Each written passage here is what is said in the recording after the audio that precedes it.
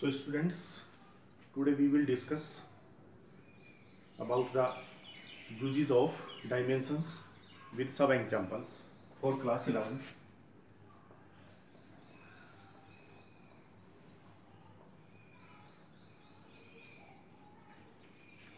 Uses of dimensions. First, dimensional formula.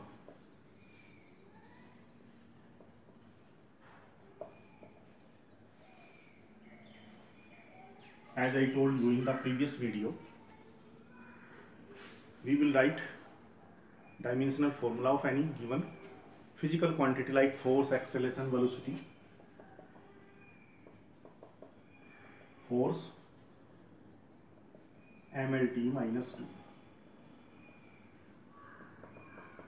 acceleration velocity lt minus 2 it is the first use.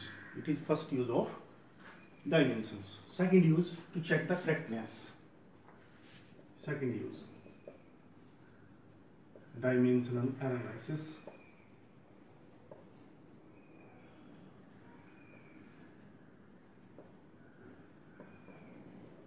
For this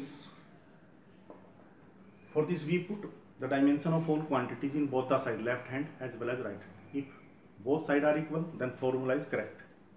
Example first equation of motion v equals u plus we put the dimensions lt minus 1 velocity initial velocity again lt minus 1 acceleration lt minus 2 and time t.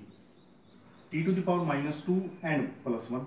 So here will be t, t to the power minus 1. lt minus 1 plus lt minus 1. So it is 2 lt minus 1. As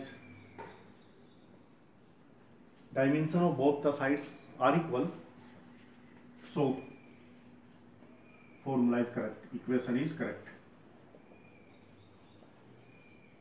Right? both sides are equal. Third was to derive formula or establish relation. To derive formula. Let force depend, force applied on a body, force depends on m to the power x, mass to the power x, and acceleration a to the power y of a body. When we apply a force on a body of mass m, then it will start to move. Its velocity changes. Due to change in velocity, acceleration is generated.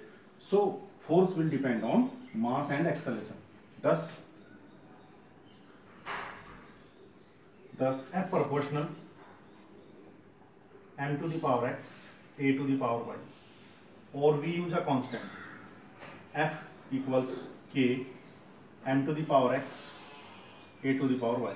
Equation first. What is k here? Here k is a dimensionless constant.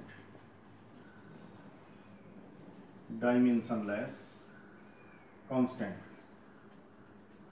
Now we will put dimension of all the quantities in this equation first mlt minus 2 equals m to the power x a lt minus 2 acceleration and its power y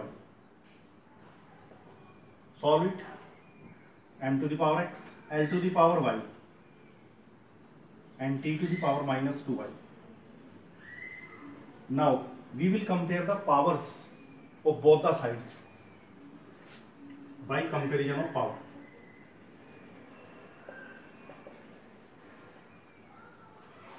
x and here is 1 m to the power.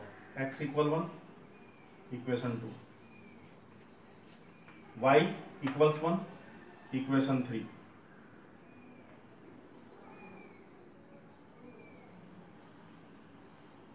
and minus 2y equals minus 2 again y equals 3 so now we will put value of x and y in equation first.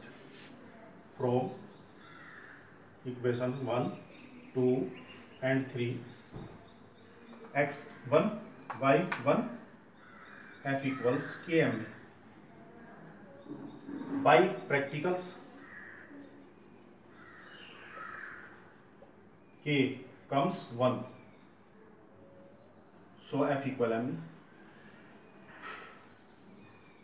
Again first we find that this quantity depends on other so we will make a relation like this that f depends on this and this and this not more than three quantity and use a proportional constant dimensionless we'll put the dimension of both the side then compare the powers we'll find the value of x y z and again put in equation first we get the formula in this manner. There are these are three main uses of dimensions.